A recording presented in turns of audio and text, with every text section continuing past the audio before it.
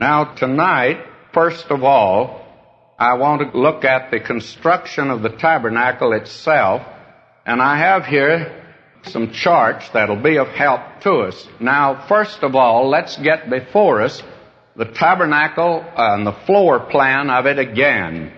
It was a hundred cubits by fifty cubits, and of course that would be a hundred and fifty feet by seventy-five. And that was for the outer court. We talked about this fence last time around the outer court.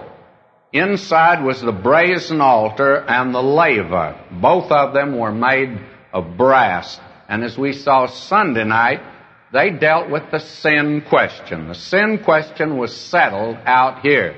Here is where it was settled for the sinner.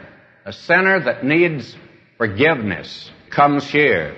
Here is where the saint that needs cleansing because of sin.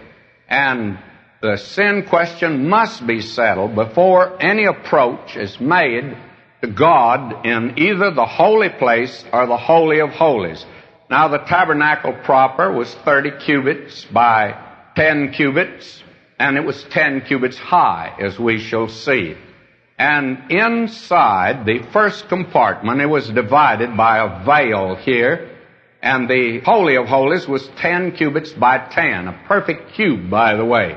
And this was 10 by 20, and in here was the golden lampstand, the table of showbread, and the altar of prayer. These have to do with worship, and worship has to do with this. You and I never worship God, or we can go to church. Somebody says, I've been to church, I've been to worship service, but you may not have worshiped, because worship has to do with the Holy Spirit the light of the world, taking the things of Christ and showing them unto us, feeding us on the bread of life, and praying in a way that we pray and not only prayers heard but answered. And until that takes place, we've never worshiped God. There's a lot of going to church today that's about as ineffective as it possibly can be. It just doesn't get anywhere at all. A lot of people today, it's a form, a ceremony with them. I heard the story about the little girl the other day that her grandmother took her to the circus for the first time she'd ever been to a circus. And believe me, when she got home, she was excited. And she was telling her mother all about it. And finally she ended up and she says, Mom, if you'd ever go to the circus, you'd never want to go to church again. And I'm of the opinion the little girl expressed what's in the heart of a great many people today because they go to church, but they do not worship. And we never worship God until these three articles of furniture come into activity in our lives. They have to. Then the Holy of Holies, in there were two articles of furniture, the ark and the top of it, and that's all it was, but it was a mercy seat, highly ornamented. Now there's seven articles of furniture. Now we are going to see this is the tabernacle proper, and we want us to look at it. And this, the man who made this chart is sitting out there tonight. He's in our class down in Orange County, and we appreciate what he's done for us here. This is, I hope you can read that. I'm sure you can. Yes, I can even improve it. If you'll notice, thou shalt make boards for the tabernacle of shittim wood standing up. Ten cubits shall be the length of a board, and a cubit and a half shall be the breadth of one board. Two tenons shall there be in one board, set in order one against another. Thus shalt thou make for all the boards of the tabernacle. Thou shalt make the boards for the tabernacle, twenty boards on the south side, southward. Thou shalt make forty sockets of silver under the twenty boards, two sockets under one board for his two tenons, and two sockets under another board for his two tenons. And for the second side of the tabernacle on the north side, there shall be twenty boards. And there are forty sockets of silver, two sockets under one board, and two sockets under another board. And for the sides of the tabernacle westward, thou shalt make six boards. Now, this is the construction of it, and here you have the boards and the sockets put here, 20 boards, And under each one of them, they're cubit and a half wide, while you have underneath two of these sockets that are used. They put them down in them. They were made of silver, by the way. We'll see that. And the same would be on the other side, and then there's six back here. These are the boards, and you notice what it says. The boards for the tabernacle of Shittim wood standing up. I want to come back to that, but let me give this first. This here is another picture that will help you to understand. Now, actually, unfortunately, the one who gave this chart did not give us the accurate detail because we actually have five of these bars on each side. The only one went all the way through, then two above it and two below. That would be true on the other side and in the back also. These are the bars we're talking about. And the pillars, we're going to talk about them tonight. There were five of them here and four here. This gives you something of the understanding of the tabernacle. Now again, maybe this will be helpful to you. This is the back end of the tabernacle, and it shows how it was put together. Here are your sockets. They were of silver, however, not gold. And here were the bars and these rings that were put in there through which the bars were pushed.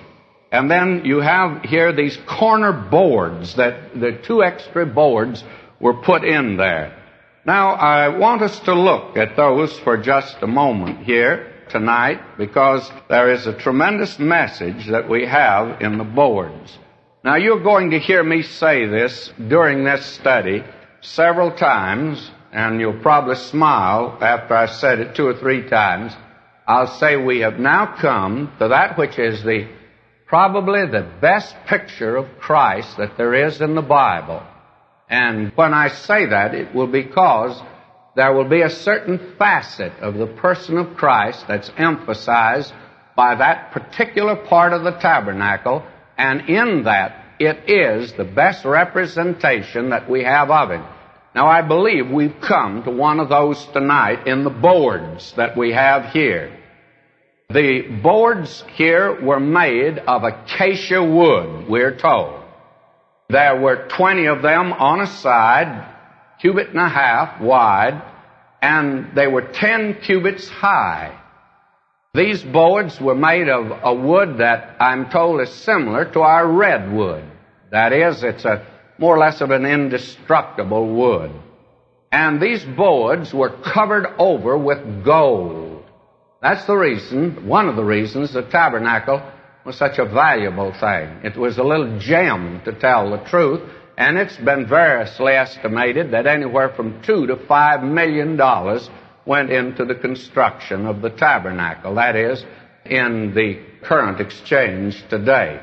And we find that these sockets down here, and actually the sockets are twice as many as the boards because there are two sockets that go for each board, you see, and they are silver sockets. Except the entranceway and the sockets here for these five pillars, they are of brass. Now, in this, we have probably the finest picture that we have of the Lord Jesus Christ. I did not bring down something I wanted tonight, but that's all right. I really don't need it. But may I say that what I'd like for you to see, that you can say that these boards are gold boards, and you'd be accurate, and you could say they're wooden boards, and you'd be accurate. They're both. They're wooden boards, and they're gold. And it can be said of the Lord Jesus Christ that He is God. The gold represents His deity. It can be said of Him that He is man. The wood represents His humanity. And the very interesting thing is that the gold is over the wood. And that there's no combining of the two, no blending of the two. There are two definite, separate materials. One is wood and one is gold. And yet you have one board. They're not two boards. It's one board and it's made of wood. It's covered over with gold. Here you have, I believe, one of the finest representation of what is known as the hypostatical union. And when we say hypostatical union, we mean the two natures that are in Christ. He was God and he was man. It's interesting when he was born, and this is the reason that the virgin birth is so essential. No man could ever have been the father because what you would have would be two persons. And you don't have two persons in Christ. You have two natures. You have the divine nature and you have the human nature. And nature is something that you get from your mother. That holy thing that's conceived in these of the Holy Ghost. But the person you get from the Father. You remember what God said concerning Abraham? When Abraham paid tithes to Melchizedek, Levi was in his loins, not Sarah's, but his. That's interesting, by the way. No man could have been the father of Jesus. You'd have had a double person. And isn't it marvelous how the Word of God keeps it accurate? You have that, the wonderful fact that He's God. And the virgin birth ensures that. And that's the reason that the virgin birth is important. When anybody tells me today that you can be a Christian and deny the virgin birth, I say this because I must confess for a while I took the position. I believed in the virgin birth, but I said anybody else, as I see it, could deny it if they wanted to, because that's not what saved you. But I'll say this. If you deny the virgin birth, you do not have a reliable Savior. You do not have one who's able to save you. You have just a man. You see, he is the ladder let down from heaven. Jacob saw a ladder let down from heaven. It touched the ground. And the Lord Jesus said to Nathanael, I'm that ladder. You're going to see the angels ascending and descending on the Son of Man. He was let down from heaven. And He is able to save. He's God. He's let down from heaven, but He touches the earth. He is made of our humanity. He has our humanity. He touches earth, but He touches heaven. Some of these folk today, and the liberal, to my judgment, is attempting to do the old faker trick that is attributed to the Indian faker. You know, the fellow that comes out and takes the rope, pitches it up in the air, and it stays up in the air, and then he has his assistant, he climbs up that, and then gets to the top and then just climbs out and disappears up above. The only thing is nobody's ever seen that trick. I was in a theater once where they had a magician and he did that and a friend of mine, we were in college together, he was working backstage. And he said to me, he said, you didn't see that black thread tied to that rope that pulled it up. That's the way it went up, you see. Nobody's ever really seen the trick. It's never been done genuinely, except in liberal churches. It's done there. They put up the old rope, yes, every Sunday. Climb up, boy, and get to heaven on your own goodness, on your own ability, on your own character, on your own good works. You and I have to have a ladder let down from heaven, my friend. And the gold boards here, and they're gold boards. But they're also wooden boards. They're called acacia boards. But they're also called gold boards. And you're accurate when you call him God. And you're accurate when you call him man. And he's a perfect man. He's not a lopsided man. The Lord Jesus was not any more man because he was God. And he was not any less God because he was man and there never was a blending or combining of those two natures. And if you'll watch, he never functions in both. He can get tired and sit down at the well. Why didn't his divine nature minister to his human nature? But he didn't do it that way. He didn't do it that way. He functioned in his human nature because he's taking your place and my place down here. And he never did that. That was the first temptation Satan brought to him. If thou be the Son of God, he knew he was.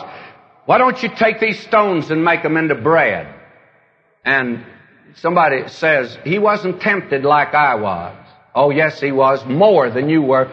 If you could make stones into bread, wouldn't you do it? I sure would. I would put Miss Webb out of business and Langendorf also. These mountains back of me filled with rocks. The bread that we'd have to give out today. May I say, but he didn't do that, you see. He never used his divine nature to minister to his human nature. You never find that. You remember angels came and ministered to him. And actually, Mark means that when he was among the wild beasts, the wild beasts that also ministered to him after his temptation. But he never ministered to his human nature, never combined those two at all. He is the most wonderful person. May I say to you, you'll never fathom his glorious, wonderful person, but the finest picture I think you'll ever have of the two natures are in those boards. What a picture they are. Now, I want to pass on because I'm not going to keep you too long tonight. We have the bars that held them together, and probably I ought to turn and read here because I do not have that on the screen. 26th chapter, verse 26, if you'll notice. And thou shalt make bars of acacia wood five for the boards of the one side of the tabernacle, and five bars for the boards of the other side of the tabernacle, and five bars for the boards of the one side of the tabernacle for the two sides westward. And the middle bar in the midst of the boards shall reach from end to end. Now this middle one went all the way, and the other four, the two above and the two beneath, I don't know how long each one was, but they were divided. And the normal thing is to think they were divided right here. But we don't know that. And the one who made the original here, he just made it halfway. And that's another logical conclusion you could come to. But we don't know that. But the one went all the way through. Now actually, the bars are what held the tabernacle together. In fact, the matter is, they were essential to holding together the tabernacle. And again, I see in this very marvelous, wonderful picture, and I see in this, in the deity of Christ, that He today is the one that holds everything together. And here is a verse of Scripture that I want to turn to. And there's so many remarkable statements made concerning Him here. This is in Colossians 1, and it says of him, beginning at verse 15, who is the image of the invisible God. And how can anything be an image of that which is invisible? I'm not going into those things. The firstborn of every creature. Here's where the Jehovah's Witness will tackle you. And the interesting thing is, you can save yourself a lot of argument with them. You'll just tell them to read the next verse. For by him were all things created that are in heaven, that are in earth, visible and invisible, whether they be thrones or dominions or principalities or powers, all things were created by him and for him. Now, they say, well, up here, he's the firstborn. That means he was created. Well, if he was, he created himself. And that's a pretty good thing to do, by the way. He created himself because we're told here all things were created by him. So evidently this does not mean, and it doesn't have any reference to that at all. It has reference to his resurrection from the dead. He tonight is the only one back from the dead. He alone tonight. He's the first fruits of them that sleep. But the one that I want to get a hold of is not that one. It's here in the next verse. And the fifth thing, and He is before all things. And if He's before all things, my friends, then He must be the Creator. He can't be created. And by Him, this is the one I want, the sixth, and by Him all things consist. And that word consist in the Greek means whole together.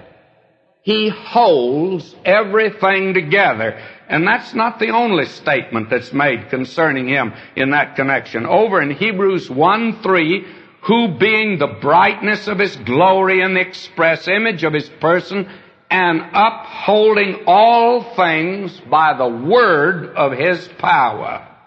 We say tonight that a button can be pressed and a missile can be on its way and it can destroy half the population of this world.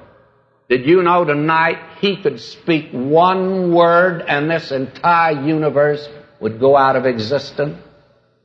By him all things consist, upholding all things by his word. To me, the great thing is not the fact he created this universe. The having created it is to run the thing. I always felt that Mr. Ford was a great inventor. Well, he sure never had any control over the Fords.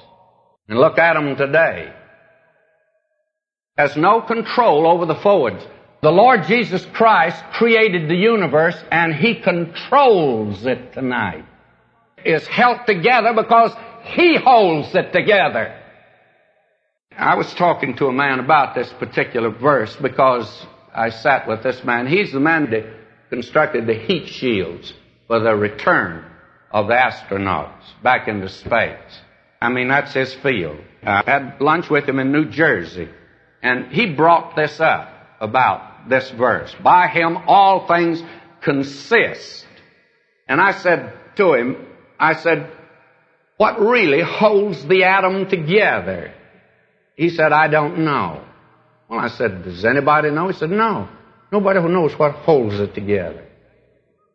And today, atomic fission, breaking the little fella apart, is a tremendous undertaking. And when you do, you've got trouble on your hands. May I say, he's got every one of these little atoms tied up. Just think of the number of them. Suppose he started untying them tonight. Man is, oh, he's made a few pounds. He's got a few little bombs today. By him all things consist. He holds everything together. And even these bars in that tabernacle speak of him and his tremendous ministry today. Now I want you to see the pillars that we have. There are three sets of the pillars and probably we better bring this back. We have here four pillars, and we have, we have five pillars here. You're wrong. We have five pillars here. We have four pillars there. I'll get it straight in a minute. All right. Now, these pillars here are not any different than the ones we looked at the other night, with the exception that there's gold on top. And they were reminded immediately. They were bronze posts and bronze sockets, but when they went in there, they were reminded that the Redeemer, that on top, the capital, was of gold, reminding them of the deity of a Savior. They have to have a Savior who's able to save. Now, when you come to this second entrance here, it's called the door of the tabernacle. And I suppose the best thing for us to do is to read these verses.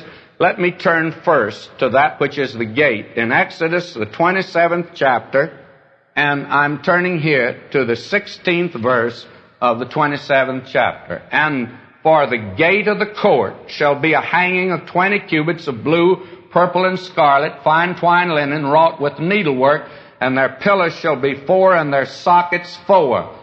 All the pillars round about the court shall be banded with silver, their hooks shall be of silver, and their sockets of bronze. Then you pass into the holy place, and let me move over here to the 36th chapter of the book of Exodus. And if you have your Bible, and if you have a new Scofield, you're having as much trouble as I am finding your place. I don't know why in the world we had to have a new Scofield Bible because I was just learning to find my way around in the old one. Now when you come here to this entrance, this is called the door of the tabernacle. And in Exodus, the 36th chapter, and you turn down to the 37th verse. And he made an hanging for the tabernacle door of blue and purple and scarlet, fine twined linen of needlework. And we'll talk about these entrances next time and the curtains.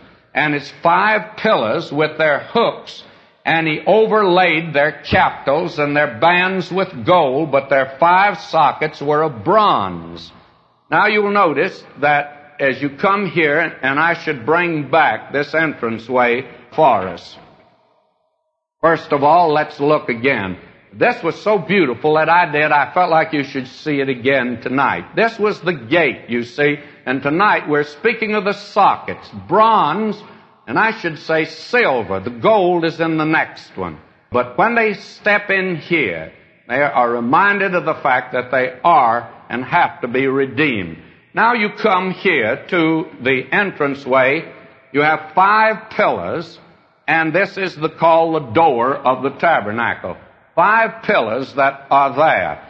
Now, will you notice their sockets here of brass?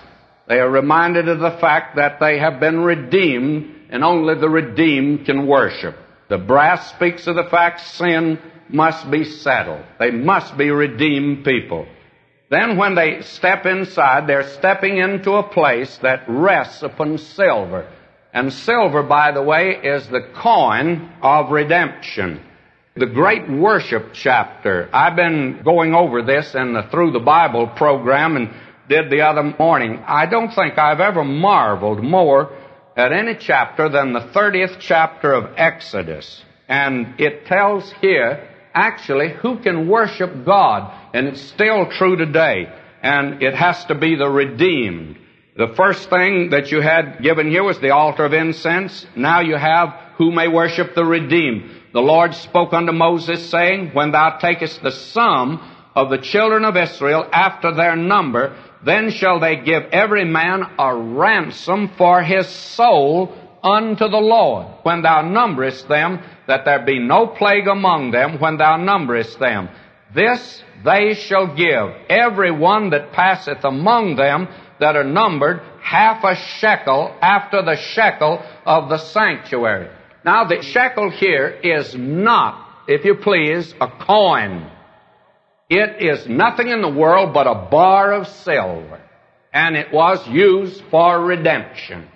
Silver is the coin of redemption. The tabernacle rested upon silver, telling to these people that they must be a redeemed people to worship God. Oh, how important that is. No unsaved man can worship God. To begin with, that altar prayer that is there. Peter says God's ears are not open to hear the prayer of the ungodly. He's not.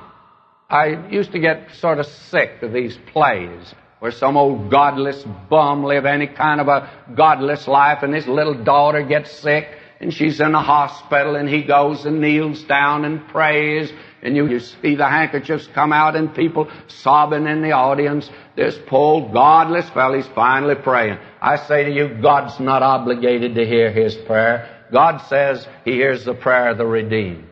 I think we ought to be pretty clear today about all of this sentimental nonsense about prayer. You're going to pray to God. God says you must settle the sin question. And when you step over here, this gate. You're stepping over these sockets of brass to tell you that your sin has been paid for and been judged. Because prayer is part of worship. My, how that needs to be emphasized today. We think today that prayer is a lot of this mouthing that you hear and a lot of repetition. And it has to be long to be a prayer God's going to hear. I sometimes feel, I hear some prayers, I feel like the Lord must say, well, for goodness sakes, hurry up. Get to what you want to talk about. What beating around the bush? Why have you come to me? The Scotch lady pulled the coattail of the preacher, you know, that the prayer meeting he was praying, one of these typical preacher's prayers that we have, and he was praying along with it, and she pulled his coattail and she says, call him father and ask him for something. That's what do. Yes, sir, that's prayer. Let's get down to business in prayer. Let's remember that prayer is from the redeemed. And we are to come with boldness to His throne of grace on the fact we've been redeemed. Just these pious words and long-winded, repeating again and again and again. That's boring, friends. You pray to God when you come to Him, and you come to Him as a redeemed and in the name of Christ. I'm not here because of my merit. If it's my merit, I couldn't come to Him. I'm coming to you in the name of Christ. And I don't want to bore you, take up your time, but this is the thing I want to talk to you about. What's on your heart? Huh? What's on your heart? Talk to Him about it. He loves to hear that. Our prayer meetings, oh, are they dead? Oh, are they dead today? And if you don't believe it, go in any church on Wednesday night. Boy, are they dead. Why? Just because we don't face up to what prayer really is. And that we've got to be redeemed. And when we go in His presence, we should mean business. We don't go in there to mouth a great deal of repetition and over and over and over and over again. Tell him what's on your heart. And then when you've told him, shut up. You remember he says he already knows, but he wants to hear you say it. Do you know old Eli? He was the high priest. He hadn't heard genuine prayer. And here comes Hannah. And Hannah, genuine prayer. And you know what he thought? He says, she's drunk. That's right. He says, she's drunk. First person he'd ever heard really pray to God. Everybody else came and went through the little prayer ritual and went home, but she was there. And oh, she had a burden. she had a longing, and she was there to lay hold to God. And do you know what she got? What she asked for? She said, I want a son. Oh, I want a son. That other wife of Elkanah, she's had a knife in me all the time and I'm tired of it. And if you'll give me a son, I'll dedicate him to you. Well, Eli says, she's drunk. Woman talk like that. Yeah, but she's laying hold of a throne of God and God's listening. God says, you'll have your son. Oh, how we need prayer like that today. When you go in there, friends, means business. These are five pillars May I just make a suggestion about those five pillars? All of this speaks of Christ. For unto us a child is born, unto us a son is given, and the government shall be upon his shoulder, and his name shall be called. He has one name, but five parts of it. Wonderful. Counselor, the mighty God, the Prince of Peace, the everlasting Father. Unto us a child is born, unto us a son is given. That's his name. And when you step in there, you're stepping in a place that speaks of that. Now will you notice we come to the third, and this to me is more wonderful than all. I don't know whether I've even got a picture of the veil or not. You just have to take my word for it that's in there. Yes, right here. We'll go back to this one. Here was the veil and there were four pillars there. If you want to turn back to the 36th chapter at verse 35, and he made a veil of blue and purple and scarlet and fine twined linen with cherubim made he it of skillful work.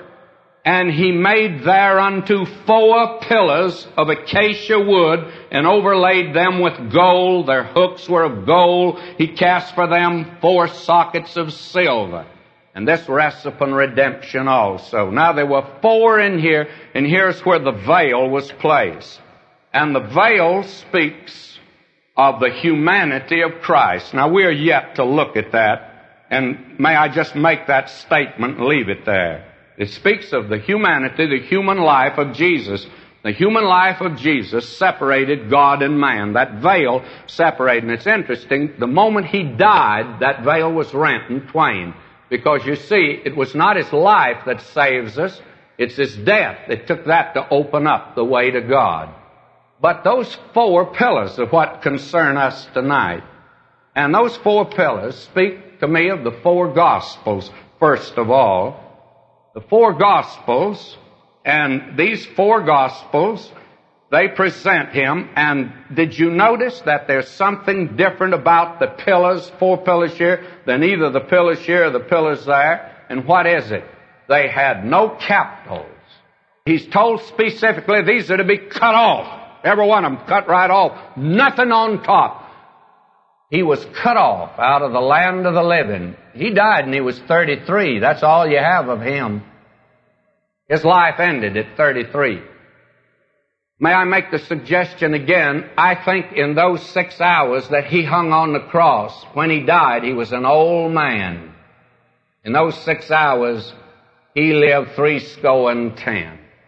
But up to that, he was cut off out of the land of the living. He was cut off. That ended him. And the four Gospels present him like that. They hold up the human Christ who died when he was 33. Cut off, if you please. Then there's something else that's suggestive of that because that speaks of our redemption. Over in 1 Corinthians, and I want to turn there, I'm having more trouble with this New Scofield Bible. I think I'm going back to my old one. 130, if you please. 130. But of him are ye in Christ Jesus, who of God is made unto us wisdom, one, righteousness, two, sanctification, three, and redemption, four. And here we have these four pillars holding up the veil, and when we are brought in there, we are in Christ, and He's been made unto us wisdom. He's been made unto us righteousness, and He's been made unto us sanctification and redemption. Now, may I just say this brief word and I'm through. He's been made unto us wisdom. He is the wisdom of God. To the Jew, the cross was a stumbling block. To the Greeks it was foolishness. But unto us that are saved, it's what? The wisdom of God. He's been made to us wisdom. And not only that, He's been made unto us sanctification. Well, sanctification is something that you have in Christ that gives you a perfect standing before God. And tonight, if you are saved, you are as much saved right now as you will be a million years from today because you are in Christ. And what He is has been made over to you. And that is righteousness. Righteousness also. His righteousness becomes our righteousness and God sees us in Christ. There is therefore now no condemnation to them that are in Christ. That's the picture that's given to us here. And then redemption. He's been made to us redemption. For that veil was rent in twain when it was. He had paid a price on the cross that brought us into the very presence of God. So that we can come in now as redeemed ones. We don't go into God's presence on our own character or our own ability or on what we do or anything like that. God said to Moses, Moses, I will have mercy on whom I'll have mercy. I will have compassion on whom I will have compassion. It's not to him that willeth, and it's not to him that runneth, but it's to God who showeth mercy. We come into His presence. We don't come in because we're Vernon McGee or you.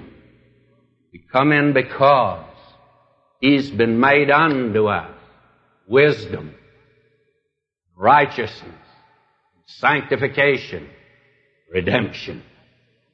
And that's the only ground on which you and I can stand in God's presence. Never in ourselves.